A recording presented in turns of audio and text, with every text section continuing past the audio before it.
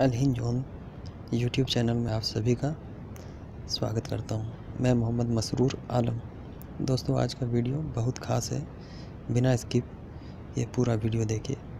मैंने पहले वीडियो में घर की वायरिंग के बारे में बताया था, जिसे आप लोगों ने बहुत पसंद भी किया, कमेंट भी किए, शेयर भी किए। इसके लिए मैं आपका धन्यवाद करता हूँ। दोस्तों, आज मैं ये वीडियो अपने सब्सक्राइबर के डिमांड पे बना रहा हूँ। लोगों को पाइपिंग के बारे में जानकारी लेना था कि इसे किया कैसे जाता है और उसका क्या तरीका है। यूट्यूब पे तो हज़ारों वीडियो मिलेंगे आपको, पर मुझे उम्मीद है कि इससे बेहतर आपको यूट्यूब पर ना मिलेगा।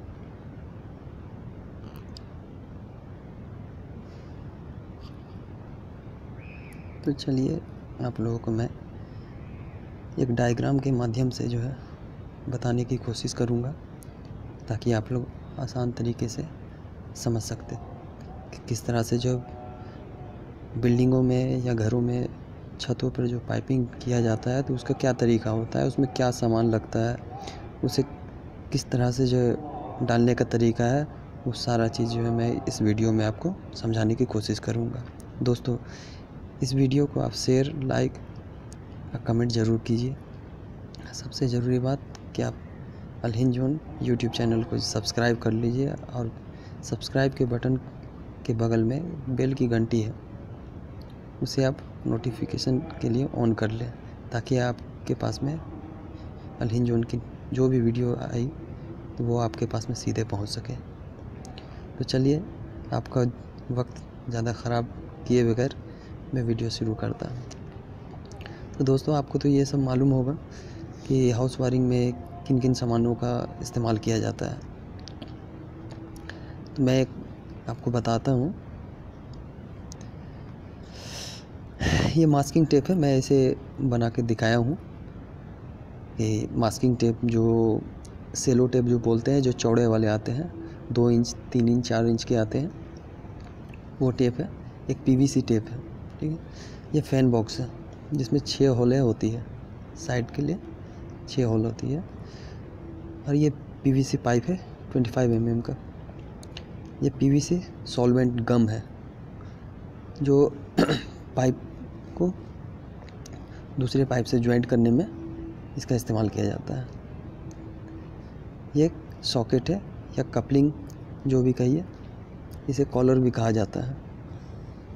ये बैंड है ये फोर वे जैक्सन है, ठीक है? ये तो आप समझ गए। तो मैं दूसरा आपको जो है बता रहा हूँ तरीका। तो सबसे पहले दोस्तों वायरिंग करने से पहले आपको रूटिंग करना पड़ता है और किस तरह से पाइपिंग लेके जाना है किस किस जगह में, उसके लिए आपको जो है पहले डिसाइड करना पड़ता है। तो मैं रूटिंग का तरीका बता रहा हूँ। रूटिंग होता क्या है? रूटिंग रूटिंग जो होता है कि आपको पाइप किस तरह से मिलाना है, कहाँ कैसे लेके जाना है।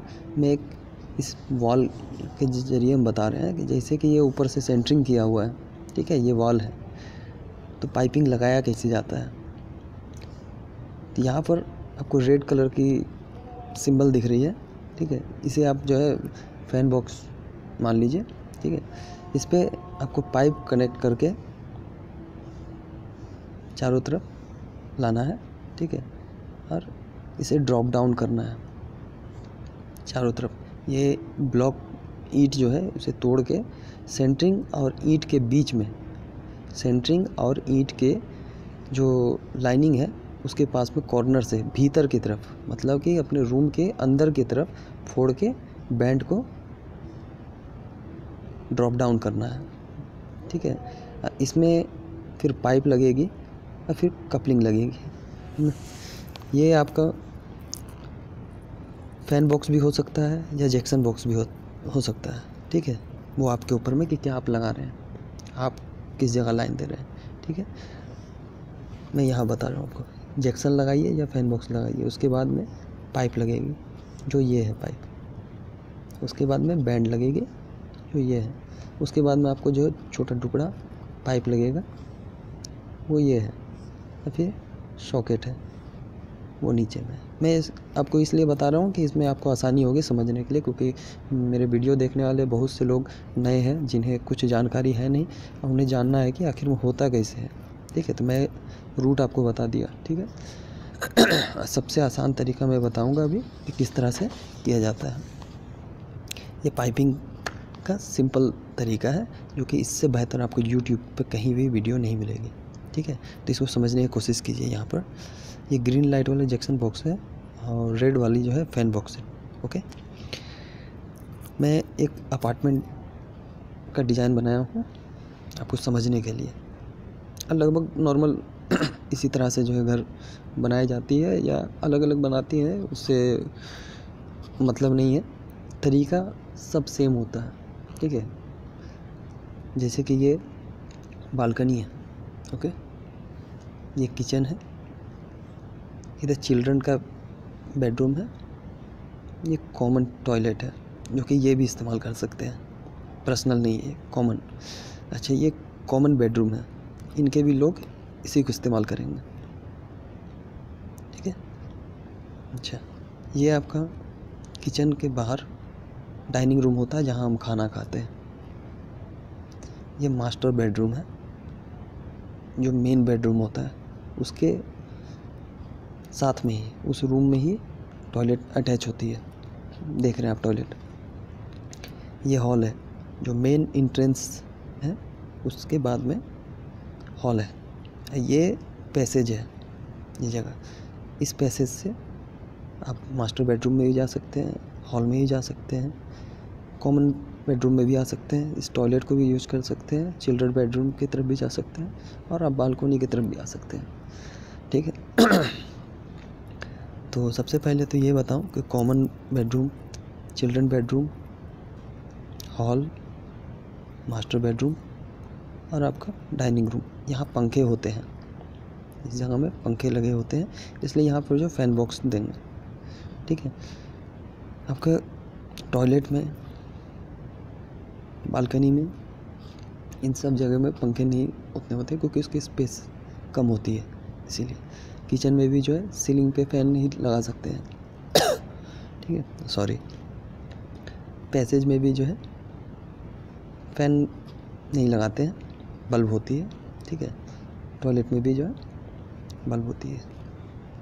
दोस्तों तो कॉमन बेडरूम का सारों, सारे को जो है आप जिस तरह से मैं अगली पन्ने पे दिखाया था रूट करने के लिए तो वो आप रूट करना होगा, ठीक है? सबसे पहले रूट करना है। इसका भी इसका भी इसका भी इसका भी इसका भी रूट करना होगा। इस सब पर रूट करना होगा और इसे इसे रूट कर देना है। रूट करने के बाद में ये डिस्ट्रीब्यूशन बॉक्स है डीबी बॉक्स ठीक है? ये सिंपल तरीका है। और गाँव में या छोटे मतलब कि शहरों में जो है, इस तरह की वायरिंग नहीं करते हैं। लोग अटपटा से कर देते हैं, लेकिन वो ज़्यादा परेशानी होती है। सबसे आसान तरीका ये है, ठीक है? डीबी बॉक्स में सब के लिए एक सेपरेट पाइप डालना है, क्योंकि इसमें छः होल होती मैंने आगे भी आपको बताया कि फ़ैन बॉक्स में छः होल होती है। तो उसमें डायरेक्ट जो है लेके आने का है टीवी बॉक्स से डायरेक्ट एक लाइन लाना है, ठीक है? ये बालकोनी में भी जो है, इसी से ही चल जाएगा। मतलब सर्किट लेके आना है हमको इसी से। जो आपको जो है, ये सब पाइपें दिख रही हैं। ये सर्किट है। ये यहाँ से सर्किट आ गई है। यहाँ से इसमें चले गई सर्किट एक सर्किट इसके लिए। तो आप लोग तो यहाँ तक समझ रहे हैं। कि ये सब पाइप आपस में लूपिंग है, ठीक है? सर्किट ये है। आपकी मर्ज़ी है कि आप बोर्ड इस तरफ़ लगाइए, इस तरफ़ लगाइए, इस तरफ़ कहीं भी आप लगाइए, हालाँकि होती है गेट के बाजू में, ठीक है? तो ये तो बाद में आप डिसाइड कर सकते हैं। पाइपिंग के बारे में जानकारी दे रहा हूँ तो मैं पाइपिंग के लिए बता रहा हूँ। ये देना है। अब यहाँ पर टॉयलेट है। टॉयलेट के गेट के पास में एक, इधर एक, और एक इधर। ड्रॉप डाउन की है पाइप यहाँ पर आपका जैक्सन है। ये ग्रीन वाले लाइट जितने दिख रहे हैं, वो जैक्सन है। जैक्सन बॉक्स है, ठीक है? यहाँ डीबी से दो सर्किटें आएँगी। एक सर्किट यहाँ आएगी जो बोर्ड की तरफ़ में डायरेक्ट लाइन चले जाएगी। दूसरा सर्किट आएगा आपका यहाँ टॉयलेट के लिए। दूसरा उसमें आएगी ठीक है? तो सर्किट होता क्या है? सर्किट में न्यूट्रल, फेस और अर्थ होता है। अर्थ हमेशा बोर्ड में फाइव पिन सॉकेट बोलिए या थ्री पिन सॉकेट बोलिए, सबसे ऊपर वाला जो मोटा पिन वाला जो पिन होता है, उस पर लगता है। जो ग्रीन वाला ही तार होता है। और रेड और ब्लैक वो तो आपको मालूम है, वो न्यूट्रल एक फेस है। फेस जो है रेड है। ठीक? तो इसमें से दो सर्किटें आएँगी। एक यहाँ उतर जाएगा और दूसरा इधर ना है, उतारने के बजाय इसी से लेके इसमें जाएँगे, फिर यहाँ उतर देंगे। सेम इसी तरह से इन सबों में भी जो है दो सर्किट आएँगे। इसमें भी एक सर्किट जाएगी, जो इधर उतारिए, इधर कहीं भी एक इधर। इसलिए सर्किट अलग अलग दिया जा रहा है डीबी बॉक्स से कि अगर मान लीजिए कि ये बालकोनी में शॉर्ट सर्किट हो, अगर हो तो डीबी में से एमसीबी उस लाइन का ही सिर्फ़ कटे। बाकी और बिल्डिंग का ना कटे। ठीक है? अगर इस रूम में जो है शॉर्ट सर्किट हुआ है इसमें तो सिर्फ़ यहाँ का एमसीबी कटेगा। ये लाइन नहीं कटेगी। ठीक है? इसलिए सेपरेट सर्किट उसी तरह से लाना है। ठीक है? आगे तो आप लोग समझ गए हैं। ठीक है? आप लोग इस तरह से करके देखिए, इसमें कोई भी दिक्कत आपको नहीं होगी।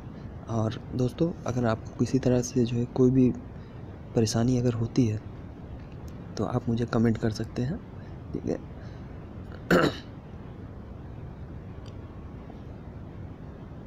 दोस्तों, मेरा एक वेबसाइट भी है, जिसमें मैं ब्लॉग लिखता हूँ। आप उस पर भी जो है जाकर गूगल प्लस से फॉलो कर सकते हैं मुझे। वो है अलहिन zone dot blogspot dot com. Okay दोस्तों मैं वीडियो को ज़्यादा लंबा ना करते हुए इस वीडियो को यहीं पर समाप्त करता हूँ और उम्मीद करता हूँ कि आप लोगों को ये वीडियो बहुत अच्छी लगी। ठीक है, और आप लोग इस वीडियो को शेयर, लाइक ज़रूर करें और कमेंट भी करें। थैंक यू दोस्तों।